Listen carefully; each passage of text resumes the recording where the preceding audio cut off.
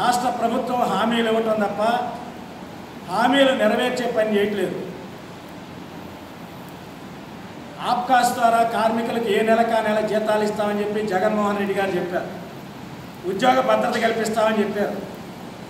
ఈ రెండు కూడా మున్సిపల్ కార్మికుల విషయాల్లో హుళక్కనేట్టుగా గత పది నెలల కాలం రుజువు చేసింది. మున్సిపల్ కార్మికులకు ఏ నెల ఆ నెల జీతాలు ఇప్పటివరకు రావట్లేదు.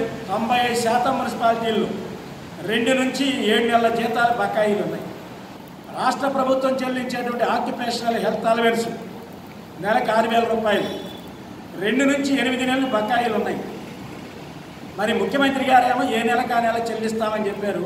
కానీ ఇటు చూస్తే మున్సిపల్ కార్మికులకు ఏ నెలకు ఆ నెల చెల్లింపులు లేవు.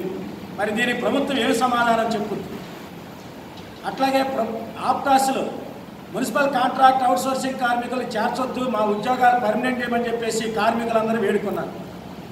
కార్మికుల వేడుకలన్నీ పక్కకు నెట్టేసి కార్మికుల్ని కట్టుబానిసలుగా మార్చే పద్ధతిలో ప్రభుత్వం బలవంతంగా ఆప్కాసలో చేర్చింది. ఈ ఆప్కాసలో చేర్చిన దగ్గర నుంచి పిఎఫ్ ఈఎస్ఐ వాటా నిధులు కార్మికుల ఖాతాల్లో జమ చేయట్లేదు. మరి ఆ నిధులు ఎక్కడున్నాయి? దానికి సమాధానం లేదు.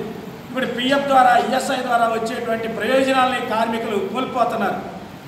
ఈ సమస్యల్ని పరిష్కారం చేయమని చెప్పేసి ప్రభుత్వానికి విన్నవించిన పెడచమని పెడతా ఉంది ఆప్కాస్లో మున్సిపల్ కాంట్రాక్ట్ అవుట్సోర్సింగ్ కార్మికుల్ని ఉద్యోగులుగా నమోదు చేశారు. ఉద్యోగులుగా నమోదైతే చేశారు కానీ ఉద్యోగులకు ఉన్నటువంటి హక్కులు కానీ జీతభత్యాలు కానీ ఇతర ఇంక్రిమెంట్లు ఇతర సౌకర్యాలు ఏమీ కల్పించాలి. పేరుకి మాత్రం ఉద్యోగులు అన్నారు. ఉద్యోగులని పేరుకి పెట్టి ఈరోజు అరవై ఏళ్ళు నిండినటువంటి వాళ్ళని ఏ విధమైన రిటైర్మెంట్ బెనిఫిట్స్ ఇవ్వకుండా నిర్దాక్షిణ్యంగా ఉద్యోగాల నుంచి తొలగిస్తున్నారు? వాళ్ళు ఏ రకంగా బతకాలి? వాళ్ళ బిడ్డలకు ఉద్యోగాలు కూడా ఇవ్వట్లేదు. ఇప్పుడు ఆ రకంగా వెయ్యి మందికి పైగా ఉద్యోగాలు కోల్పోయారు పస్తులు ఉంటున్నారు. చనిపోయిన వాళ్ళ స్థానంలో కానీ అనారోగ్యం పాలైనటువంటి కార్మికుల స్థానంలో వాళ్ళ బిడ్డలకు గతంలో మున్సిపల్ కమిషనర్లే ఉద్యోగాలు ఇచ్చేవారు. ఇప్పుడు ఆ హక్కులని అవకాశం కట్టబెట్టింది ప్రభుత్వం. ఆ రకంగా అనారోగ్యం పాలైన వాళ్ళు కానీ చనిపోయిన వాళ్ళ స్థానంలో కొత్తగా ఉద్యోగాలు ఇవ్వట్లా? మున్సిపాలిటీలు విస్తరిస్తూ ఉన్నాయి. చనిపోయిన వాళ్ళ స్థానంలో కానీ అరవై ఏళ్ళు నిండినటువంటి వాళ్ళ స్థానంలో కానీ కొత్త వాళ్ళని ఇంతవరకు పెట్టట్లేదు. మరి పని భారం అంతా ఎవరి మీద పడతా ఉంది? పని చేస్తున్న వాళ్ళ మీద పడతా ఉంది. పని భారం పెంచి కార్మికులు వేధింపులకు గురి చేస్తూ సచివాలయాలకు బదలాయిస్తూ ఉన్నారు. ఇటువంటి నిరంకుశ విధానాలు ఆపండి. మున్సిపల్ కార్మికులు పర్మనెంట్ చేయండి. మున్సిపల్ కార్మికులు సకాలంలో జీతాలు చెల్లించండి. అట్లాగే మున్సిపల్ కార్మికులకి కరోనా ప్రమాదం నుంచి ప్రాణాలు రక్షించుకునేందుకు అవసరమైన మాస్కులు గ్లౌజులు శానిటైజర్లు పీపీ కిట్లు ఇవ్వమని చెప్పేసి మేము అడుగుతా ఉన్నాం. అటు చూడపోతే కేంద్రంలోని మోడీ ప్రభుత్వం అట్టహాసంగా యాభై లక్షల రూపాయల బీమా చెల్లిస్తామని చెప్పి చెప్పారు. ఏడాది కాలమైంది.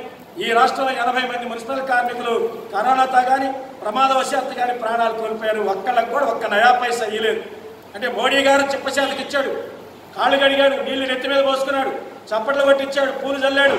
కానీ మున్సిపల్ కార్మికుల జీతభత్యాల విషయంలో కానీ హత్తుల విషయంలో ప్రాణాలు కాపాడే విషయంలో వైద్యం విషయంలో ఏ రకంగానూ జాగ్రత్తలు తీసుకునే పనిలో లేదు ప్రజలు ఎట్టయితే గాలి వదిలేశారో ఈరోజు మున్సిపల్ కార్మికులు కూడా ఆ రకంగానే గాలి వదిలేస్తున్నటువంటి పరిస్థితుంది. ఇంజనీరింగ్ కార్మికులకి ముప్పై ఆరు రకాల కార్మికులు ఉన్నారు. నాలుగేళ్ళుగా జీతాలు పెరగలేదు. పెట్రోల్ డీజిల్ ధరలు గ్యాస్ ధరలు అన్నీ అమాంతం రేట్లు పెరిగిపోతూ ఉన్నాయి. ఇంటి కిరాయిలు కట్టుకోలేకపోతున్నారు. ఇంటి తిండి గింజలు కా- ఖర్చు భరించలేనటువంటి స్థితిలో ఉన్నారు.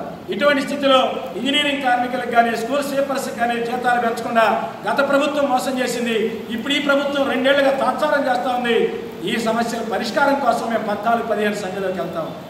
కానీ ప్రభుత్వం సమ్మె నోటీస్ ఇచ్చిన పది నెలలుగా ఈ ప్రభుత్వం దగ్గరికి కరోనా టైంలో కూడా ప్రాణాలు లెక్క చేయకుండా నాయకత్వం తిరుగుతూ ఉన్న ప్రభుత్వంలో చలనం లేదు. దొన్నపోతు మీద వర్షం పడిన సొంతంగా వ్యవహరిస్తూ ఉంది.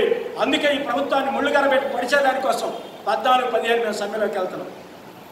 ఇరవై ఐదు రోజుల క్రితం సమ్మె నోటీస్ ఇచ్చిన ప్రభుత్వంలో చలనం లేకపోతే ప్రజలు ఇబ్బంది పడకూడదు ప్రజలకు అసౌకర్యం కలగకూడదనే దాంతో మేమే చొరవ చేసి మంత్రి గారితో అధికారులతో మాట్లాడటం కోసం ప్రయత్నం చేశాం. మాట్లాడుతున్నారు కానీ జాయింట్ మీటింగ్ జరిపి సమస్యలు పరిష్కారం చేసి సమ్మె నివారించే పని కానీ ప్రజలకు అసౌకర్యం కలగకుండా చూసేటువంటి వ్యవహారంలో చిత్తశుద్ధితో లేకుండా ఈ ప్రభుత్వం వ్యవహరిస్తూ ఉంది. అందుకే మేము గత్యంతరం లేని పరిస్థితుల్లో పద్నాలుగు పదిహేను సమ్మెలోకి వెళ్తా ఉన్నాం. ప్రభుత్వం స్పందించి సమస్యలు పరిష్కారం చేయకపోతే రాబోయే రోజుల్లో నిరవధి సమ్మెకి వెళ్ళడానికి కూడా వెనకాడమని చెప్పి AP municipal workers and employees federation CIT అనుబంధ సంఘం రాష్ట్ర కమిటీ తరఫున ఈ రాష్ట్ర ప్రభుత్వాన్ని హెచ్చరిస్తా ఉన్నాం.